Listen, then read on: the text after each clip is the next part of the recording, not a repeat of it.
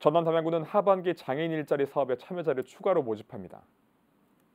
추가 모집 인원은 12명으로 유형별로 일반형에 9명, 복지형에 3명을 모집합니다. 모집 기간은 오는 3일까지고 선발될 경우에 확정된 날짜부터 오는 12월 31일까지 배정된 일자리에서 근무하게 됩니다. 한편 현재까지 담양군 장애인 일자리 사업에 참여한 지역민의 수는 모두 41명입니다.